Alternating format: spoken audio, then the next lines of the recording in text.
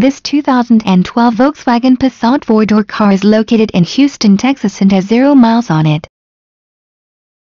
This four-door car has a beautiful opera red metallic exterior paint color which is complemented by an interior color. This vehicle features power windows, power door locks, steering wheel stereo controls, steering wheel leather wrapped, navigation system, and many other features. For more information on this great four-door car please click the link below.